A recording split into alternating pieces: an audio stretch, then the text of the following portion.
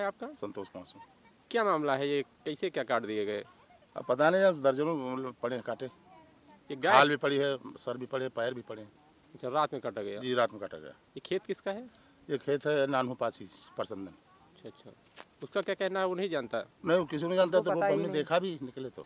Sir जो थाना अजगैन क्षेत्र में प्रतिबंधित पशुओं का अवशेष मिला है इसका क्या प्रकरण है? थाना ज़िले के हरचंदपुर गाँव प्रथम दृष्टि देखने पर ऐसा प्रतीत हो रहा है कुछ शरारती तत्वों द्वारा प्रतिबंधित पशुओं के कुछ अवशेष वहाँ लाकर फेंक दिए गए। जी। उसके संबंध में जाँच की जा रही है। क्या सर इसमें मुकदमा भी पंजीकृत किया गया है? हाँ अभियोग पंजीकृत कर लिया गया है। तीन बटा पाँच गो अधिनियम का मुकदमा पंजीकृत कर लिया गया। अज्ञात के खिलाफ जाँच की जा रही है।